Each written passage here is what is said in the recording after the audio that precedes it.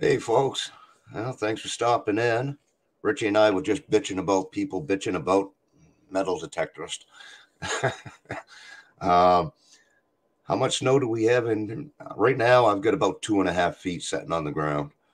Um, I got about same where I'm at too. Yeah. Yeah. Pop this up differently here so we can talk a little bit before we get into it. yeah, Kevin Mann, he's in in town or in state here. He got two feet over the last seven days. Yeah, I, I don't mind getting those storms, but geez, a week apart, that, that's it's a lot to deal with. But yeah, we're we're waiting. I'm watching the river. The uh, with that rain and snow that we did get in there, did actually raise the river up. But um, as far as you know, how much it's putting out right now, so hopefully in the spring we'll have a good snowpack, and that will push a lot of stuff down. Yeah, the snow it'll all melt eventually. Oh, yeah, just gotta well, be patient. Yeah. Uh, let's see. I'm just going to go through and say quick hi to everybody that's jumped in. Uh, we got Gary, Gary's Metal Detecting, Jason from BC Treasure Trails, Nancy, Ambient Girl Digs, uh, Swamp Rat Nation, Kevin Mann, uh, David Alfonsetti, let me see. I saw Mike Malley man jump in. Joel from Drone Detect. Might have some more people jump in. Uh, Brenda, Brenda, from Mama. Yep, uh, Mama's gone detecting. Which at some point here, Brenda, um, get stuff together here. I'll I'll send you out those uh, glass shards from last year. Uh, we also have Rebecca from uh, uh, Maine Dirt Sweepers, and uh, who else did I see? Eaton Beach uh, Treasures, Natalie. Thank you for coming. Um, yeah, we're just going to continue on down the river from where we left. Mike wants um, to see the T-shirt. Oh, there you go. There you go, Mike. That's a nice T-shirt. Yep. Is that from uh, you getting uh, put into that book? No, no, that I ordered that. When do I, you want? Do you want to mention that? About you and being put into that?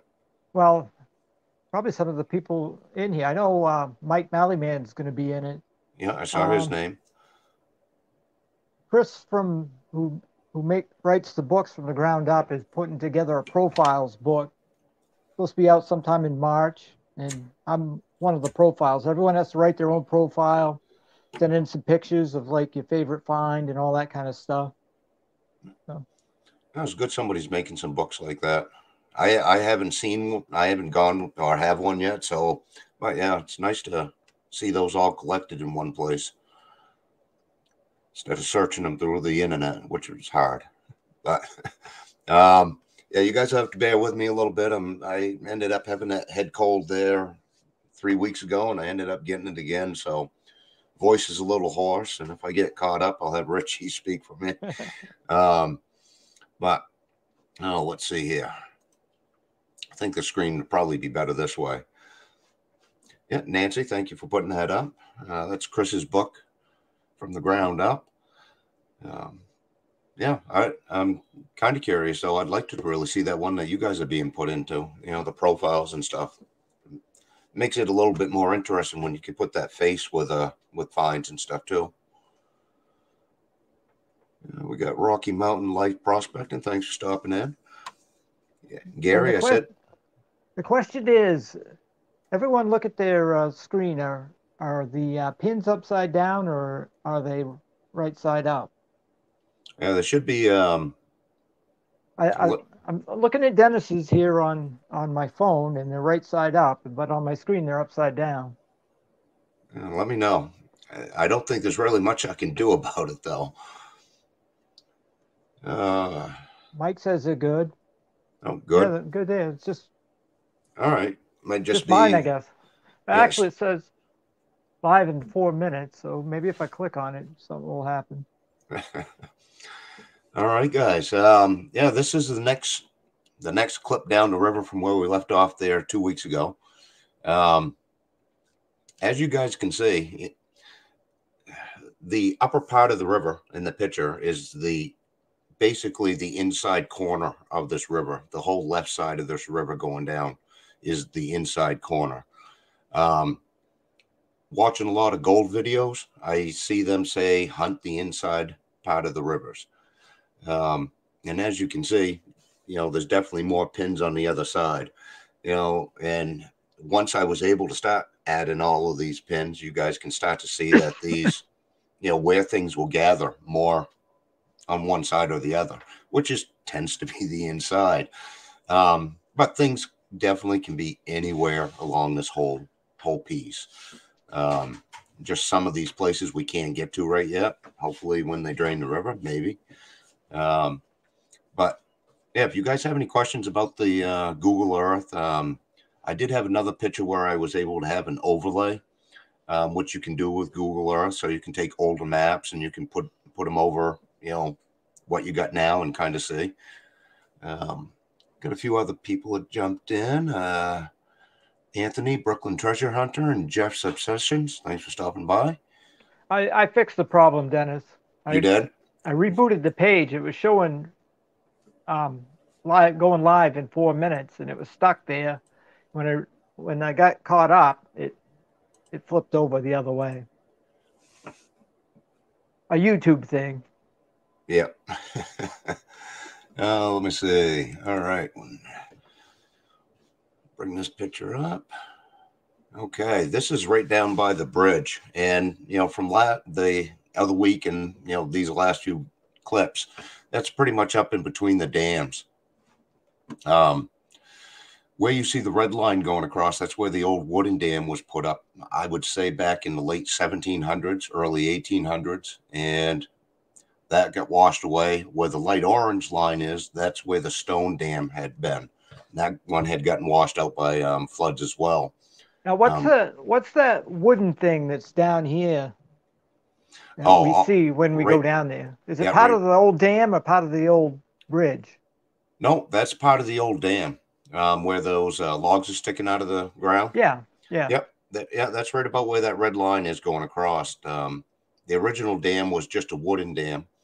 And then the second one, that orange line, was made with uh, stacked stone. And once we get to the next clip or picture there, you'll see where, you know, the dam is now. But uh, right down next to the bridge, that's pretty deep, even when we had the drought there last year or two years ago. And there's silt that builds up under here, and each year they go up with a, or every so year, so many years they go up with a bucket loader and they pull out a bunch of that silt. Um, when they do redo this bridge down here in the bottom, they're, you know, they're probably going to have to do that, and we're going to try to find out where they're dumping all the spoils. Um, I've found many coins down in there. I found a couple of rings. Um, uh, and that sand down there is probably four to five feet deep. So I know there's a bunch of stuff in there. And if we can figure it out and organize it enough, then you know we'll try to get a bunch of people down here uh, to hunt different parts of it. Um, Mike wants to know uh, if you put these pins in as you go, or yeah, um, and that's an uh, that's a very important thing. Um, if you can, as soon as you get home from your hunt, put them in. They're going to be fresh in your mind. Um, there was one summer that I just got lazy and I weren't putting my pins in, and I had to go back and watch every one of my videos. And guess, I mean, it's all a guesstimate, anyways. They're not down to GPS points um, because in this river things rise up and you lose definition of rocks and places, but it's pretty relatively close to where I found, you know, everything. Um, and a lot of times in your videos, you can go back and you can pick a landmark or a tree or something, and you can kind of know where you are. Where you are. Um, let's see. Uh, hey, you could, Johnny you Small kind Pepper. of you could kind of tell where we walk across there, where the pins get close to the middle, where Yeah. the ledge is. Yeah, right where that red line is. Um, in the summertime, when it's low, you can you can pretty much walk across there. Or we Um, have. Oh yeah, we have, and you know, there's there's just you know certain places that are going to be deep holes, and you just can't get to them unless you're not wearing waders and you don't mind going underwater fully. Um, which for the right signal, I, I definitely would probably take my waders off and go for a short dive. Um, but all right, let's see. And as you guys saw too, that um, most of those finds are still on the inside of the river. And there's a lot less territory on that side to hunt too. Yeah. Oh yeah.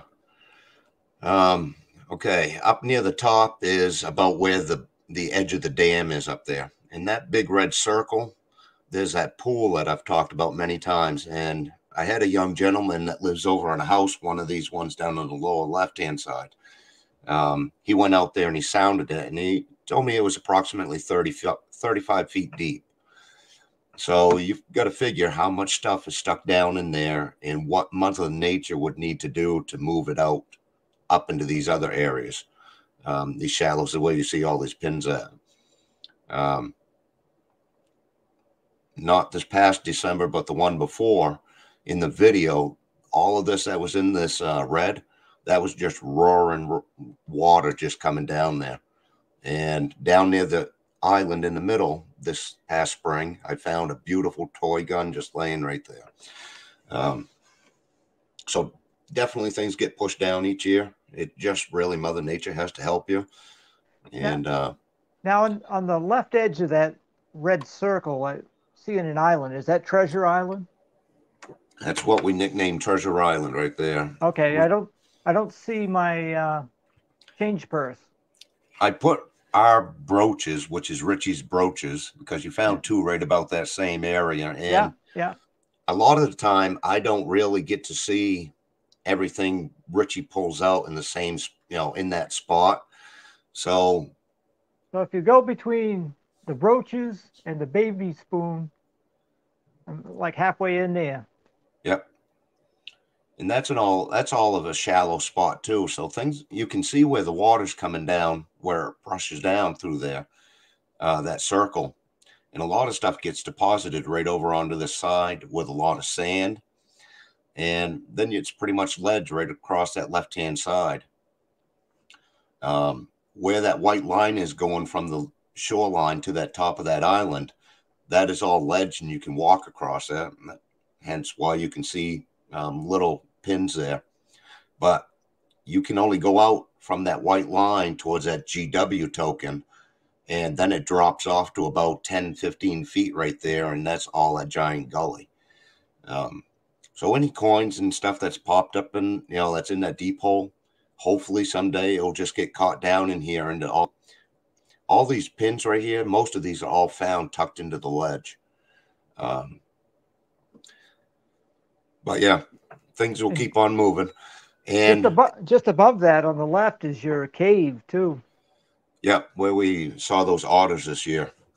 Um, I'm going to try to get some better pictures of them uh, next year or this year. Yeah, I, am all messed up, guys. This cold's still frigging with me. Hey, Darcy, uh, thanks for stopping in. Um, I really haven't been keeping an eye on the chat. I haven't either. Go back. I don't see any questions. If you guys have any questions, feel free, ask them. I'll try to catch them if we get them. Uh, hey Ben, how are you tonight? Um, let's see. Uh, have I tried magnet fishing in that deep hole? Um, out about where you see the uh, 1914 Gillette canteen. Um, that's about as deep as you can go in the sand, and it starts to get real deep in that, you know, in that circle. I've thrown a magnet out there a little ways, but I'm definitely not hitting where the deep spot is. Um, my plans on this year, and maybe Richie will do it too. I've got a couple of magnets, but I'd like to take the kayaks right out in the middle of there and just drop them down, see what we can pull out. Um, my swimming skills are pretty good. I don't. I yours I can, is probably. I can, I can swim, but we'll have life vests on anyway. Right. Uh, Mike Underwood and uh, Dennis from SWFL. Um, thanks for stopping in, guys. Uh, need to bring Scuba Sonia up to dive on that.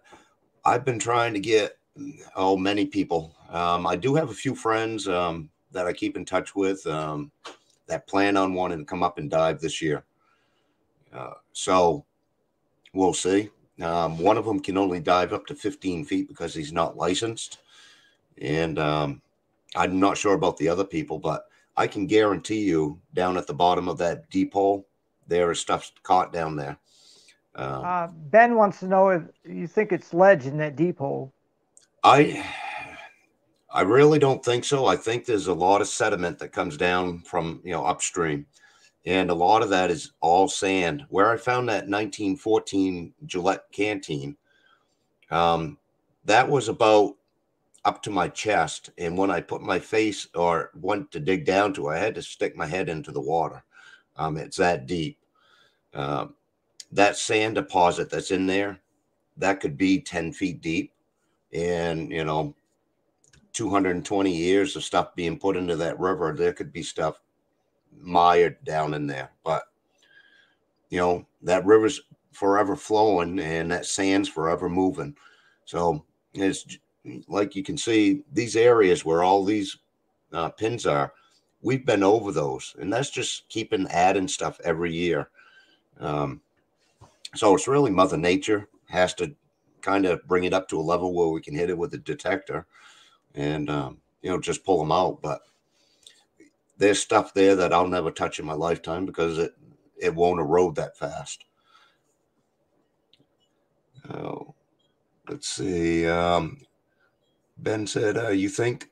Okay, yeah. No, there is some ledge down there, Ben, but I think most of it's sand deposit. Um,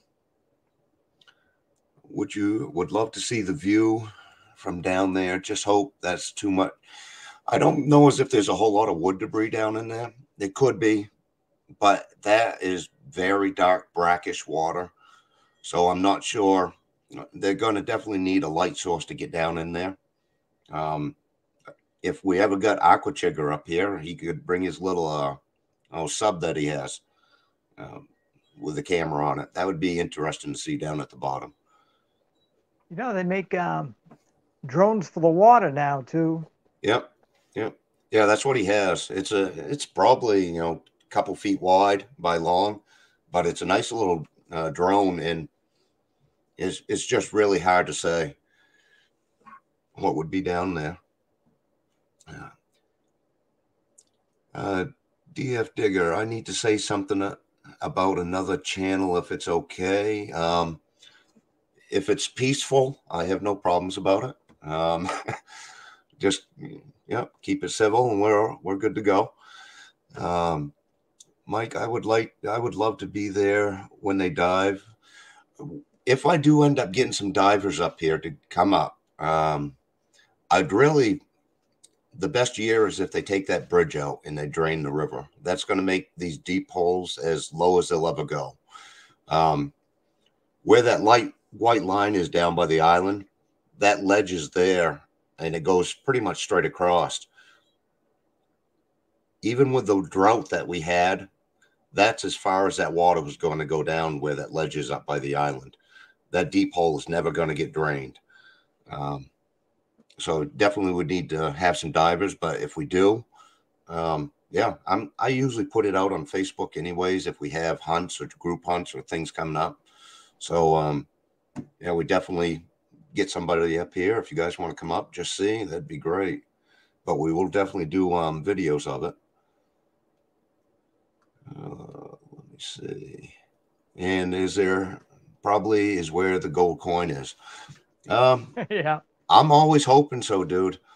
The last, you know, I found a nice you know, Canadian, uh, I think it was a 1892 that was just an inch underneath the sand down, just down past this island which we're going to go to on this next screen, which will probably be the last one. Um, but yeah, that had to have been pushed down that spring or, you know, last spring. Let's see here.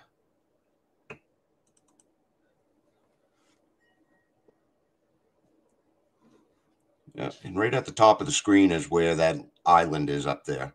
Now there's and, some pins for you. Yeah, definitely a lot of work keeping them on there. But um, this part of the river, it, there's really not as much of an inside bend. There is, but it's pretty flat on both sides. So you do see a lot of pins, you know, throughout. This is the part that gets really shallow, doesn't it? Yeah, down here, um, past this island is at times, you know, it's it's at your ankles. Um, there's a few deep spots like over on the left hand side where you see those pockets where there's no fines. those there are just too deep to get into. Um, yeah, the the river's just you know it's how it's made up, and you know, and then I've hunted this many many times, and as you hunt your own rivers, you'll start to see how it flows. You know where things are easily found, you know, compared to not. Um, let me see here. Uh, we have at least seven channels involved already and several hundred dollars for this so far. Many giveaways too silver coins, sticker packs, cash, who knows what else. That was from Dennis. Um, oh, the snowpack's looking good there, Darcy. We got two and a half feet on the ground, so the runoff um, it should push some stuff down. Um, that's kind of like eh, kind of what we hope for each year. Uh, let me kick this uh, guy. How long have I been mapping? I've been doing it for four years.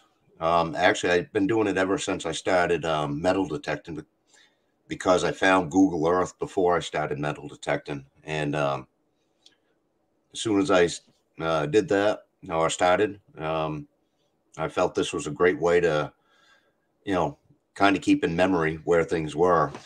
And this only shows up on your computer, so you don't have to worry about other people looking in, um, finding where you found stuff. But and this is the Piscataquis, Joel. Yep.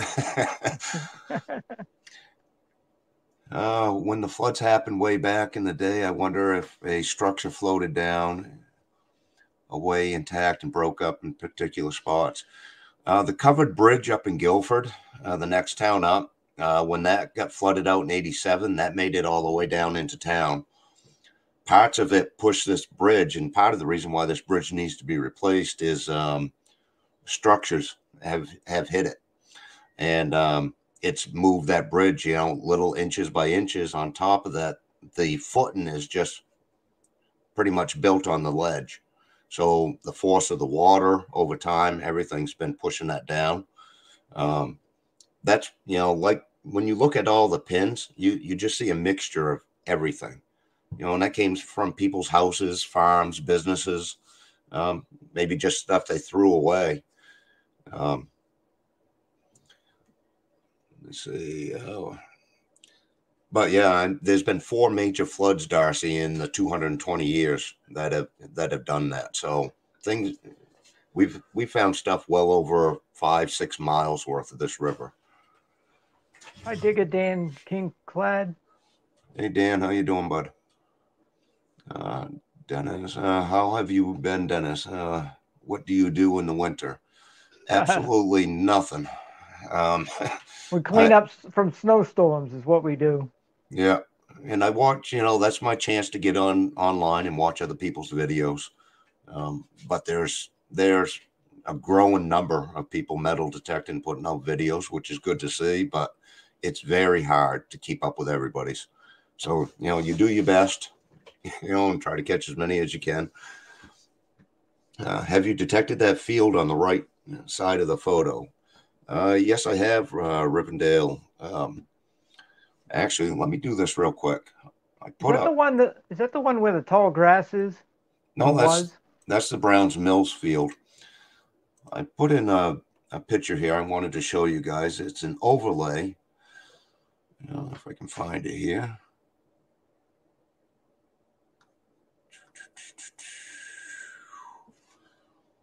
Give me a second. My eyesight sucks. Over here. All right.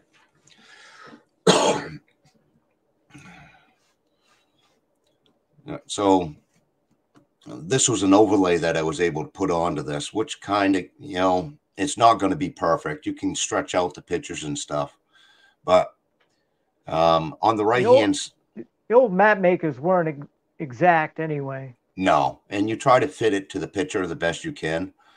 But that field, if you if you look, if you go across the bridge and you take that right, those big buildings, that's where the mill is. And you can see that there were old other buildings. Let me make that a little bigger. there were other buildings down in that field. Um, when they made this park and they've torn these buildings out, there is just metal everywhere, spread all over those fields. Um, definitely could have coins in there, um, but I'd say, well, hundred percent of the stuff I found in that field has been junk, and um, I usually do it in the spring, the first place you can hit. But um, yeah, there's got to be coins down there too. It when that mill got shut down, or when they shut it down, they had EPA come in and they had to clean out a tremendous amount of chemicals that was left over from that mill. So I'm not sure how much of the top coat they've taken, um, but they've made other fields, and a lot of that top coat from there went in to make other fields, which are finding those same factory parts in those other places. Which, like I said, there still could be a coin, there could be a watch, who knows down through there. Um, What, what kind of mill was that? that was a woolen mill. So they had a lot of dye. You know those chunks of that blue crap that we find in the river there. It's Yeah. old dye dye clots and stuff like that. But um, Nothing, nothing too serious. Only take ten years off your life. No big deal. yeah, that's why you only eat one fish meal out of the rivers in Maine a year. I don't Um, even fish anymore, so I don't even don't even need any. No. Uh, but I'm not going to keep this any longer there. Uh, I'll just, we'll finish this up here. Um, keep removing the jump. And oh, yeah, I'm sure there is stuff in there, Darcy, but I'd rather be in that water if I could be. Uh, no bugs.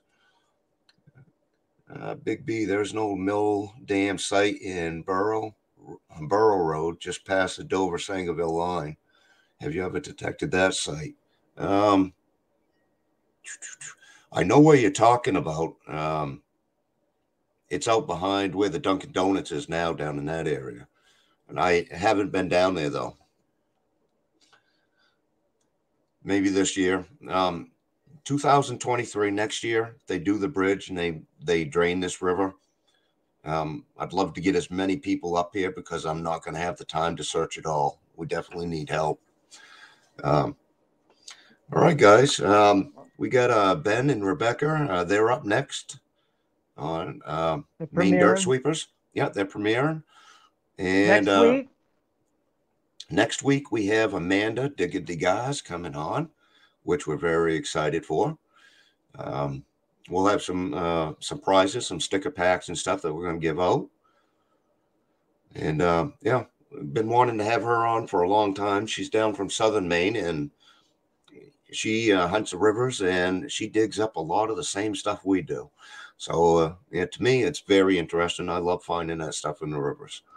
But all right, folks. Um, thank you for stopping by, and we'll continue down the river in another two weeks. And uh, as we get down the river, you're going to start seeing where the bends and turns in the river, but you'll still see where these finds end up. So if you enjoyed it, you kind of like how it's going, then uh, please join us again. Rich. Good night, everyone. I hope you were entertained. All right, folks. Have a good night, and uh, we'll see you over at Ben and Rebecca's.